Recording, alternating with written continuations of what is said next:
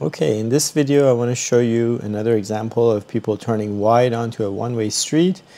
And so right now there are two cars uh, at the intersection or into the intersection. This car is a little bit past their stop line. There's a car in front of them and they're waiting for oncoming traffic and this mobility scooter to clear the crosswalk. And then this person is going wide into the second lane and we'll see how this person handles it.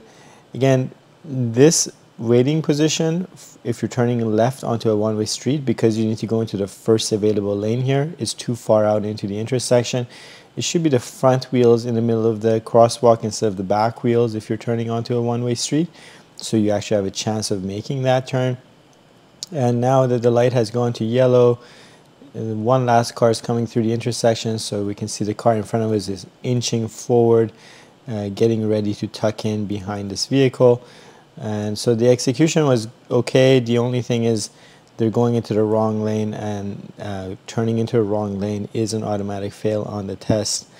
Now, um, we're going to be doing the same turn here shortly and we'll see how that should pan out.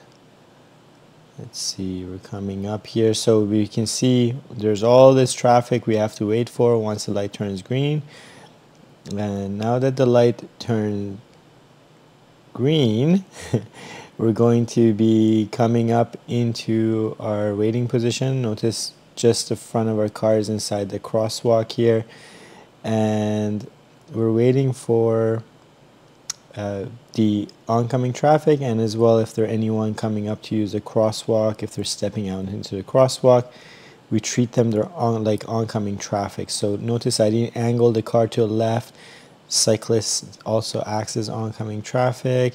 The light's gone to yellow so we start rolling and we can see we're going into the first available lane. So that's how that turn should be done.